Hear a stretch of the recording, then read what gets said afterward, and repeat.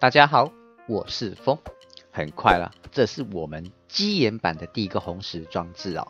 那所有的红石装置呢，都需要依靠红石元件哦。当然，与加八版不同的是，基岩版有不同的红石特性。我们来看一下基岩版的物品分类，怎么样做到快速分类哦。这边要特别提醒大家的是，因为不同版本哦，所以有可能发生的问题有很多种哦。所以这边针对这个基岩版的物品分类呢，请大家必须要照着我的步骤做哈，包含要先做哪个部分，先做哪个测试，以及使用的方块都必须要完全相同。如果在使用完全相同的步骤跟方块还是造成错误的话，那我这边也没有办法替你解决哦，因为基岩版的特性就是如此的神奇哦。不过还是分享给大家哈，在基岩版怎么做物品快速分类哦。首先，我们先在地下先叠六个方块。好，再来这个方块的位置指的就是我们即将物品分类的位置的高度哦。我们接下来在这个地方放总共六颗。然后用漏斗指着它，接着在这两个漏斗右边的两个漏斗上面放两个蜂蜜块，然后在漏斗旁边，我们把这个水稻铺出来，然后往外两格转个角，然后继续铺过来。好，铺完像这个样子哦。再来，我们在中间空格的地方哦，我们可以随便补什么方块都行哦，像这样。那外围的部分，我们一样用方块把它补起来，好像这个样子哦。接着在漏斗上面，我们放玻璃片哦。这个地方玻璃片延伸过来，再来，我们这里要模拟，假设我的这个物品分类的东西有非常非常的多，我可能会往，比如说我目前看的这个方向去延伸哦。那这个地方我们只是模拟而已，我们在这个地方可以放一个这个。铁质地板门哦，去模拟说中间如果延长的话，会有很多很多的物品分类哦。好，在这个地方我们就放水，那这个地方也放水哦。我们等一下这个地方呢，先放一个地板门，要确定水流是往蜂蜜块的方向冲哦。那这里因为水流不够，我们这个地方再给它加一个水源哦，加强它的这个速度哦，像这样。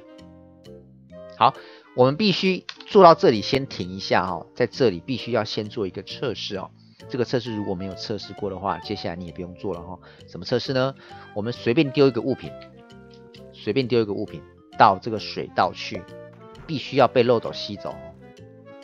如果在这里没有被漏斗吸走的话，不好意思，你就没有办法做这个。至于原因，为什么我也不知道，我也不知道，真的不知道。哈，这个基岩板我还在摸索中哈。只要做到这个步骤，你的物品能够被吸进去漏斗的话，那你的物品分类应该就可以使用了哦。好，再来。我们接下来在下面这个地方呢，这六个方块的下面放一样放铁方块，接着每一个铁方块再延伸横向的两格出来，好，接着在铁方块的下面中间的部分，我们放铁方块，然后在上面插红石火把，好，漏斗旁边的铁方块可以敲掉。我们放上胶器哦，然后在这个刚刚中间放的方块的斜对角下面哦，我们放一个实体方块，并且补上这个中继器哦。好，再来，我们用方块把它围起来，剩下所有的实体方块上面全部都要放这个红石粉哦。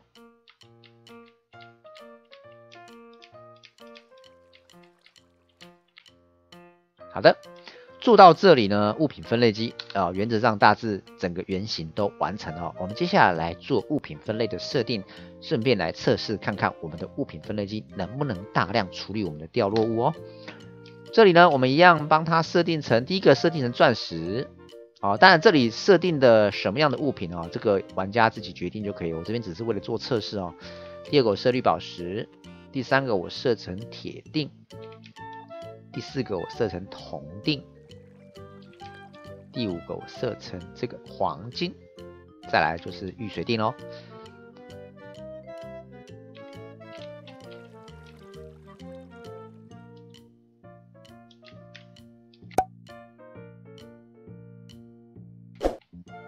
好再来我们来测试看看玉髓锭哦最后面最后面的来测试看看。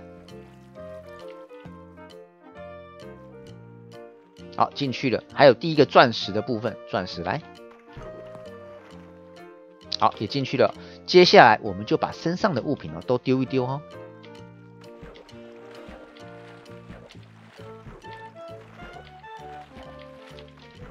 好，先让它去跑。下面的部分我们要开始接我们的这个漏斗跟这个我们要收集的箱子哈。接下来我们可以对着这个火把放一个实体方块，然后在实体方块旁边我们可以放箱子。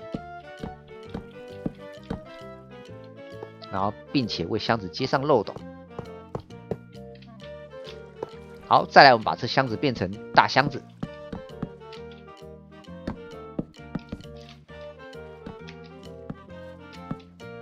像这样哦。最后，最后，我们把漏斗一接上去之后，这个物品分类机应该就可以把我们所有的物品分类到我的箱子里面哦。然后，我们是可以使用这个展示框。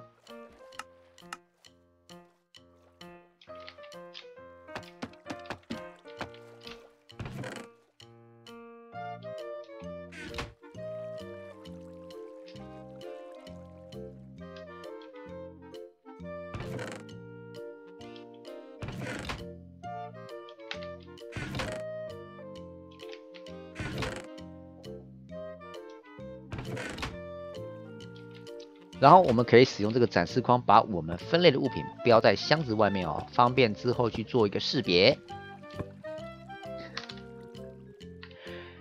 这样子有没有很简单呢？当然，以上是我们在基岩版的第一个红石装置哈，因为这个物品分类，不管是应用在什么样的红石装置，都非常的重要哦。当然，基岩版的红石特性完全跟 Java 版呢有很大的差别，所以未来如果有机会的话，我们可能会再做更多的红石装置哦。好了，希望今天的装置对大家有帮助，那我们就下一集再见喽，大家拜拜。